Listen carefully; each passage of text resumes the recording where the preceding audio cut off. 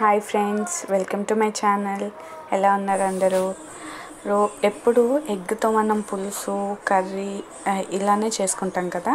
ఈసారి ఇలా వెరైటీగా మసాలాతో ట్రై చేయండి.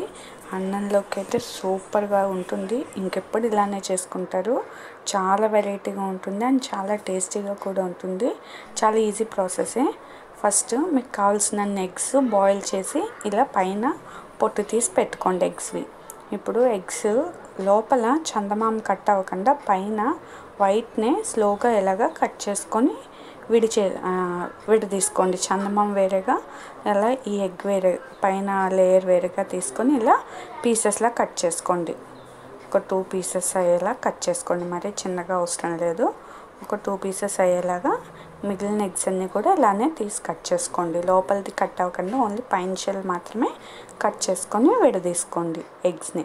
ఇప్పుడు ఒక మిక్సింగ్ బౌల్లో కొంచెం సాల్ట్ కొంచెం కా ఇవంతా ఈ ఎగ్స్ మిక్స్ చేసుకోవడానికి కొంచెం కారం కొంచెం పసుపు కొంచెం ధనియాల పొడి వేసుకొని బాగా కలుపుకోవాలి. కొంచెం గరం మసాలా ఇవన్నీ బాగా మిక్స్ చేసుకోవాలి. ఇక్కడ నేను ఒక టూ స్పూన్స్ చింతపండు గుజ్జు వేస్తున్నాను.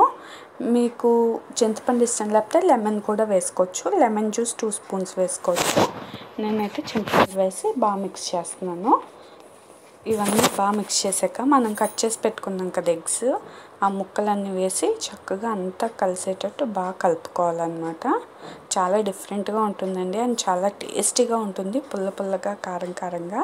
అది పక్కన పెట్టేసి ఒక టూ మీడియం సైజ్ ఆనియన్స్ ఇలా కట్ చేసుకొని ఇందులో మీకు స్పైసీనెస్కి తగ్గట్టు కారం వేసుకోండి.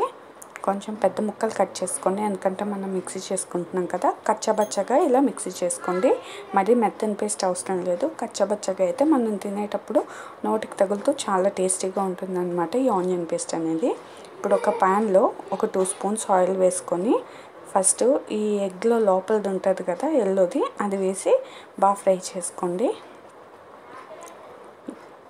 ఇది బాగా ఫ్రై అయితే బాగుంటాయి అన్నమాట మీరు ఎన్ని ఎగ్స్ తీసుకుంటే అన్ని చక్కగా ఫ్రై చేసుకుంటూ ఉండండి. అన్ని సైడ్స్ తిప్పుకుంటూ ఒక టూ మినిట్స్ అట్లా ఫ్రై చేసుకోండి. అన్నీ ఒకటేసారి వేసేయడం కన్నా ఇలా విడివిడిగా వేసి ఫ్రై చేసుకుంటే బాగా ఫ్రై అవుతాయి. ఎగ్ అయినా ఈ లోపల ఎల్లో పార్ట్ అయినా కానీ కొంచెం గు బ్రౌన్ కలర్ అయ్యే వరకు ఇలా అయ్యే వరకు ఫ్రై చేసుకొని పక్కన పెట్టేసుకోండి. ఇవి తీసి చూడండి అన్ని సైడ్స్ చక్కగా ఫ్రై అయింది కదా. ఇప్పుడు మిగిలిన వైట్ పార్ట్ ముక్కలు ఉన్నాయి కదా అవి వేసుకొని చక్కగా కలుపుకుంటూ అన్ని సైడ్స్ ఫ్రై చేసుకోండి.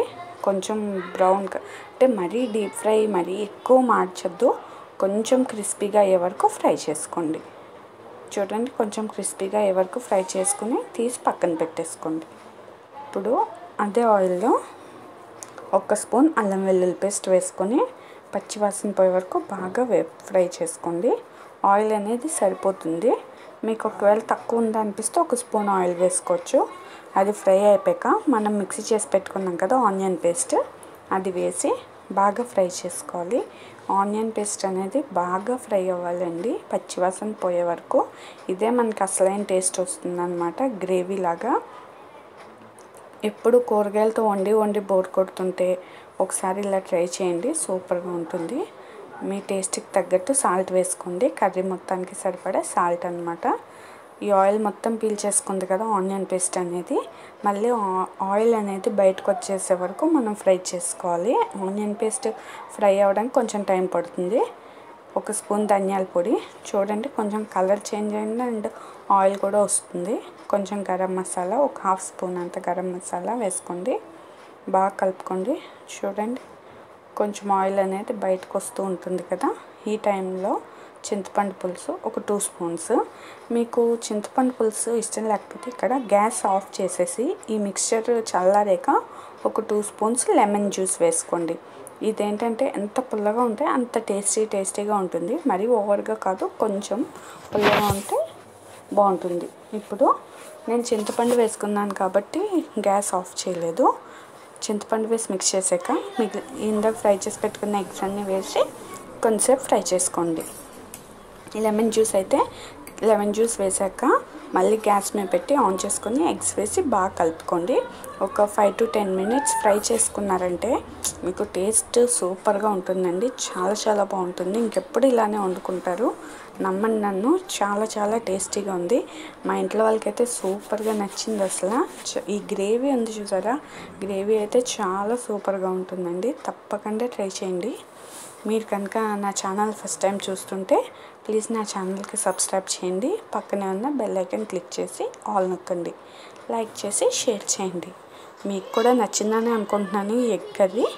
నచ్చింది కదా తప్పకుండా ట్రై చేసేయండి.